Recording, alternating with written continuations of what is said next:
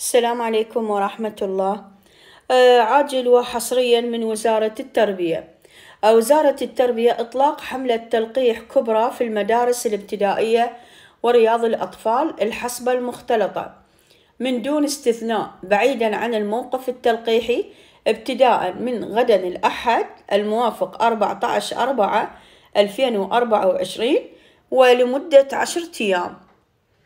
طبعا وزارة التربية قالت إطلاق حملة تلقيح آه، تلقيح الحصبة آه، من دون استثناء. يعني كل أقصد على الابتدائية والروضة رياض الأطفال.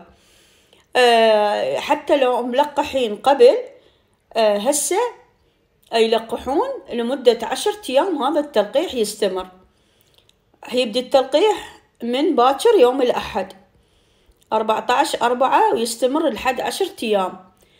تلقيح حملة تلقيح كبرى بالمدارس الابتدائية ورياض الأطفال.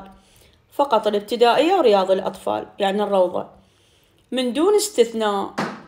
عيني؟ هذا وزارة التربية نزلت هسه الخبر. لازم تقول الكل إجباري. الكل آه يلقح.